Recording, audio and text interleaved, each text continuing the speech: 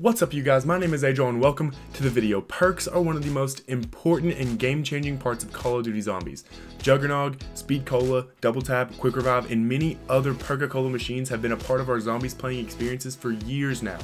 We couldn't imagine it any other way. But what if I told you it was almost different? That the game we knew could have been completely changed due to a few small tweaks. Today I want to introduce to you four perks that were almost added into Call of Duty Zombies, but were scrapped for various reasons. This first one will be very familiar to anyone who plays a bit of custom zombies, and that's Ammo-Matic. This perk was supposed to make its reveal in Shi No Numa and in Der Riese, but was cut from the final game. It's confirmed that this machine would have given you a max ammo upon purchase, and this is because of a soundbite that was found in the games related to the machine. Nikolai Belinsky says, An ammo machine, what a brilliant idea! Can you imagine if we had the opportunity to buy max ammo? How many games would have been saved or rounds completed? What I would want to know is if this perk would have really been one purchase only, or if it would have been rebuyable each round. I guess we'll never really know.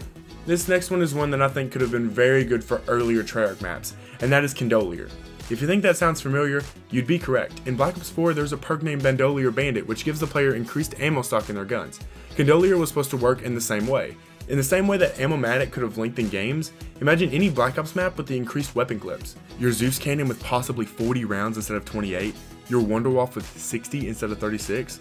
I don't know exactly how much extra ammo you would have gotten, but the point is that the high rounds could have been very different if we had this perk in the earlier Treyarch games. Now, how it would have affected those games, I guess we'll never really know.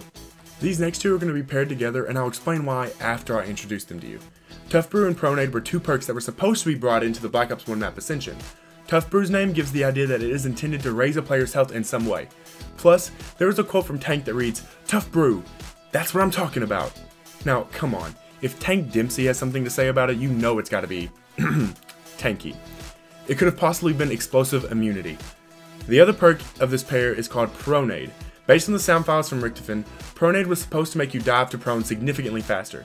If you combine the fact that Pronade made you dive to prone faster, and Tough Brew could have been explosive immunity, what perk involves diving into a prone position and immunity from explosive damage? If you guessed banana colada, you would in fact be correct. No, I'm just kidding. PhD Flopper seems to be the combined version of these two perks, which honestly I'm okay with. I definitely wouldn't want to use up two perk slots for something as simple as this. So what do you guys think? Would you have wanted these perks in the game? What kind of strategies could you have ran with them?